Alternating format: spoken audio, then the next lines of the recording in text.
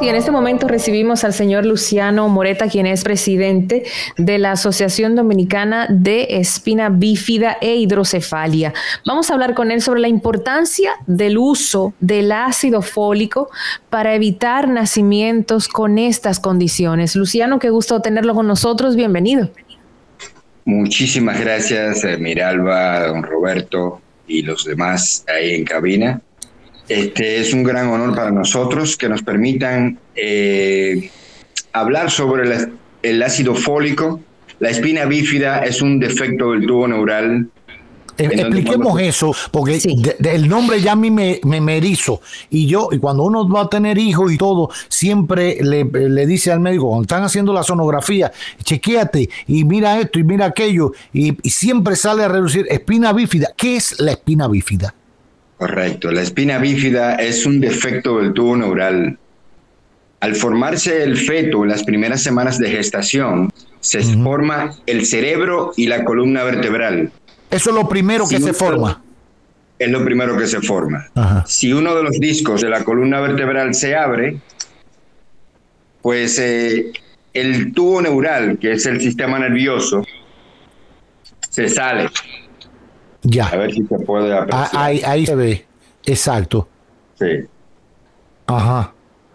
Entonces, eh, el sistema nervioso se sale y esto provoca una deformación dependiendo del nivel de donde se abra, eh, donde, donde esté el defecto. Ok, aquí vemos. Ah, ajá. Es la, la espina aquí. Sí la columna vertebral. Entonces, aquí, por ejemplo, se puede ver eh, una malformación. Esto provoca... ¿Qué provoca en el niño eso? Esto provoca una, dependiendo el nivel y dependiendo el tipo de espina bífida, que hay espina bífida oculta, que una persona puede vivir toda su vida y no, o sea, no padecer de nada. Espina bífida se llama mielo meningocele o espina bífida abierta, meningocele y mielo meningocele, que es la más severa. Nosotros tenemos cientos, miles de casos en la República Dominicana con esta discapacidad.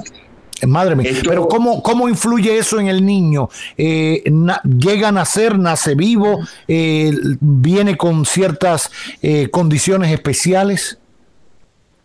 Eh, bien, el niño puede desarrollarse normalmente en sus funciones eh, cerebrales, normal, simplemente que va a tener una discapacidad de la columna hacia abajo, o sea, no va a poder caminar, mm. eh, va a estar en silla de rueda, pero puede llevar una vida normal, aunque no obstante, o sea, una discapacidad, una persona en una silla de rueda, condenado a una silla de rueda toda su vida, puede tener malformaciones de, los huesos, puede tener este pie equinovaro.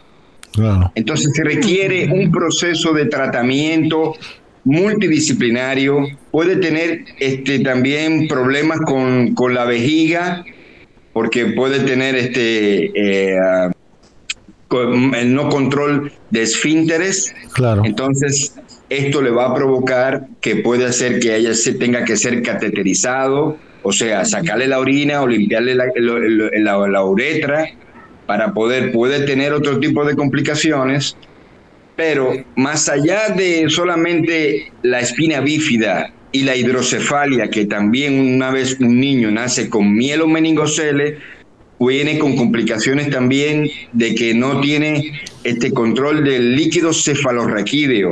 Claro. Esto provoca que tenga que ponerle una válvula. Claro. O sea, al niño le causa la hidrocefalia, que esta sí la conocemos, es más común, es más frecuente hablar sobre un niño con hidrocefalia, cabeza grande. El doctor Cruz Minian, estamos colaborando con ellos en un operativo que se va a realizar este domingo se van a operar más de 50 niños con hidrocefalia en el Hospital El Buen Samaritano en La Romana. Madre mía. Doctor, una pregunta. Eh, no soy doctor. bueno, soy padre de afectados. De, dos, de dos, sí. Eh, pero quería preguntarle, por ejemplo, un niño después que, que nace con esta condición, eh, ¿Hay tratamientos para revertir eso, para sacarlo de una silla de rueda, por ejemplo, que es el caso en el caso de los niños con espina bífida? Eh, lamentablemente no. Las posibilidades. Ahora, ahora, eh, y quizás es el, pretexto más importante para conversar hoy con nosotros, eh, Luciano. ¿Se puede evitar, se puede evitar desde la concepción que el niño venga con espina bífida? Sí, precisamente por eso es que estamos creando esta campaña de crear conciencia. El 25 de octubre es el Día Mundial de la Espina Bífida y la Hidrocefalia. Justamente eh, queremos prevenir a todas las mujeres en edad de gestación o en edad fértil, activa o no sexualmente, deben de consumir ácido fólico todos los días ya sea que tengan pensado concebir un hijo o no, que quieran tener un bebé o no, porque lamentablemente, o sea, los embarazos no son planificados en nuestro país. No son que una pareja se planifica, vamos a tener un hijo, porque aquí las cosas no son así, lamentablemente. Entonces, en cualquier momento una mujer puede quedar embarazada. Todas las mujeres en edad de gestación, todas las mujeres en edad fértil deben consumir ácido fólico, porque es la única forma científicamente comprobado que puede evitar tener un hijo con defectos del tubo neural. En este sentido, no solamente puede prevenir la espina bífida, también puede prevenir en lo que los niños que nacen con el labio leporino, que son problemas en los labios. Wow, eh, todo eso es ácido fólico puede prevenir la anencefalia, que son los niños que nacen sin cerebro, la microcefalia también puede prevenir, y estudios recientes han determinado que usar ácido fólico puede prevenir el autismo. Oh. O sea, fíjense la importancia. Es muy más de lo que yo me imaginaba. Del consumo del ácido fólico. Mire, importante lo que usted dice.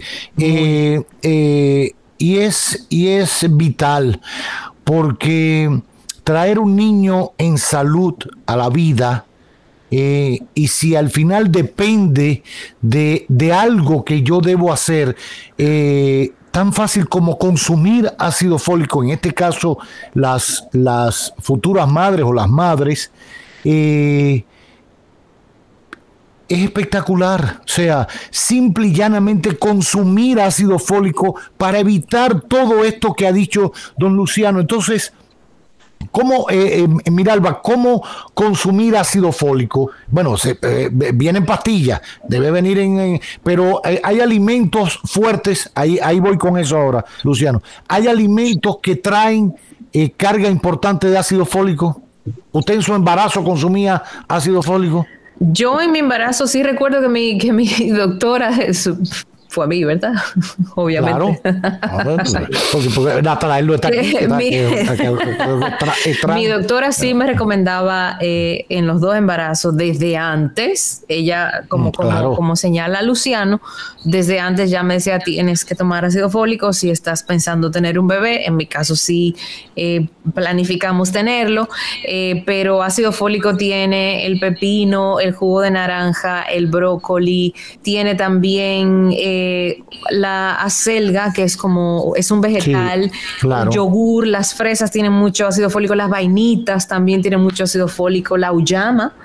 Eh, o, calabaza tiene ácido fólico, sí, hay alimentos que pueden, pero casi siempre. Fíjense que fácil, fíjense que fácil. El aguacate, comprar eso, maravilla comprar eso, comprarlo a alguien que lo venda por la calle y comérselo para que nadie haya justificación. No, que no que el seguro no me cubre el medicamento de la farmacia. Está bien, perfecto, eso es importante.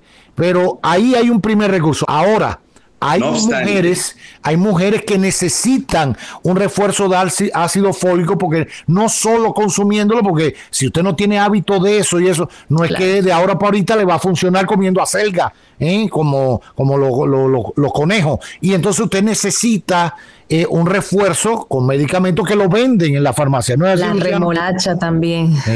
Sí, eh, gracias, interesante, mira Alba, lo que usted dice, don Roberto. No obstante, estudios han demostrado que no es suficiente comer todos los días alimentos reforzados con ácido fólico, que contengan ácido fólico, como lo que mencionó Miralba, del brócoli, eh, todo lo que sea verde contiene ácido fólico, porque o sea, el cuerpo necesita, las mujeres necesitan 400 microgramos diarios entonces, por eso deben, necesitan el complemento de tomar ácido fólico. A pesar de comer alimentos con ácido fólico, se cepillaron por la mañana, se toma una pastilla de ácido fólico.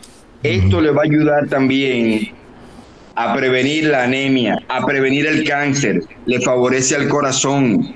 O sea, es un tema de vital importancia que nosotros estamos tratando de llevar a la población y crear conciencia, tocando puertas para ver cómo nosotros podemos hacer llegar este mensaje eh, de reforzar los alimentos, inclusive, por ejemplo, estamos haciendo un video que vamos a hacer conjuntamente con eh, la, perdonen que mencione la mercacit o la harina de maíz mazorca, está reforzada con ácido fólico. Entonces, Demostrado que los defectos del tubo neural afectan alrededor de 500.000 embarazos en todo el mundo cada año. Más del 72% de los casos pueden prevenirse con la ingesta de ácido fólico. Esto es de vital importancia y creemos, queremos crear conciencia en todas las mujeres. O sea, eh, no es, no basta con tomar ácido fólico que salí embarazada y comencé a tomar ácido fólico debe ser antes de, debe de comenzar a tomar así, por eso debe de consumir ácido fólico todos los días, porque usted no sabe cuándo va a quedar embarazada. Se supone que debe ser tres meses antes o tres meses, seis meses después del embarazo, durante el embarazo, pero debe de consumir ácido fólico todas las mujeres. En especial también que estaban tratando del caso del Día Mundial de la Niña, tenemos los embarazos de adolescente, que es un tema nacional de vital importancia. La mayoría de los casos que tenemos, pues son niñas adolescentes que no tienen ni siquiera su cuerpo, no está del todo formado y por eso pues los niños nacen con defectos congénitos. Ya. Excelente. Bueno, importante información. Ya está dicha tiene que ser parte de la dieta de la de la de las permanentemente. Permanente como tomar agua todos los días como tomar agua todos los días, consumir ácido fólico y qué bueno que hay campañas de esta de este tipo de la mano del grupo CID de Mercasí, de sus productos para fortalecer y reforzar el ácido fólico en una parte de sus productos y consumirlo y hay pastillas y todo. Ya saben lo importante ¿eh? Eh, para prevenir casos de hidrocefalia, de espina bífida, que ese... Hasta de eh, autismo. De autismo. Yo me he quedado impresionado con eso. el próximo 25 de octubre, Día Internacional de la Espina Bífida, ojalá bajemos esos casos en nuestro país simple y llanamente consumiendo las mujeres fértiles y en edad de gestación eh, ácido fólico. De eso se trata. Gracias. Gracias, Luciano. Un placer haber compartido. Gracias. Luciano Moreta, presidente de em, la Asociación de Espina Bífida e Hidrocefalia en nuestro país. Nuevamente, gracias, Luciano. Gracias por el esfuerzo y gracias por, por toda esta campaña que llevan por todo el país. Gracias, Luciano. Muchísimas gracias a ustedes por la oportunidad.